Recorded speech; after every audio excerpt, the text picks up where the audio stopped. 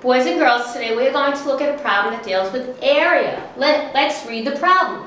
The diagram below shows the area of the sandbox Mr. Matthews built in his backyard.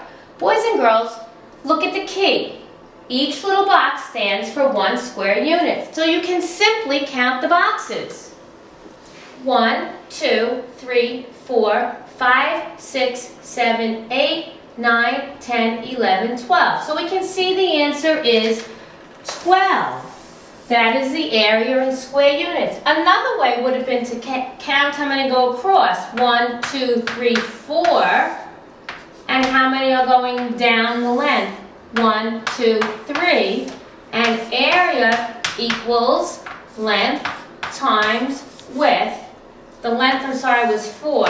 4 times 3 equals 12. When we do area, the answer must be in square units. And that's how we do area.